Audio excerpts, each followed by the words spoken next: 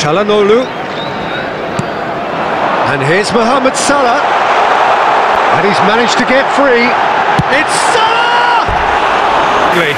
I just hope he won't let the failure to score affect him with the ability he has. The way through, so back it comes. And here's Calhanoglu.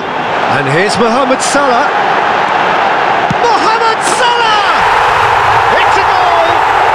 And again, that was as close to certain as can be. Yeah, I really can't say enough as to how good the final ball was. It took out. He is so at ease on the ball. And here's Mohamed Salah. There will be one minute Shot added goal! time. And more and more and more. Hot knife through butter again. Well, how's that for a class finish? Ah, that's just clever. He made the keeper think he was going one way, only to outfox him.